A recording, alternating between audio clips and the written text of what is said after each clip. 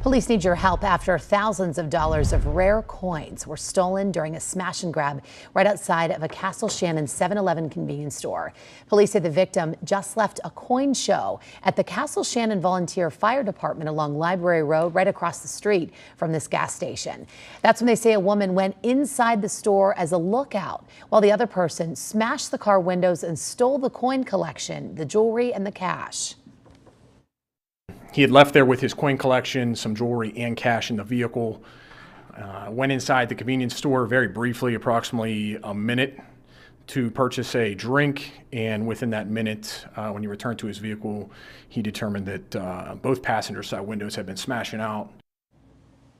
Take a look at these surveillance pictures of the woman who police believe is involved here. Investigators say the thieves took off in a 2024 Black Ford Escape with a Tennessee license plate. If you know anything about this case, the Castle Shannon Police Department wants you to please give them a call.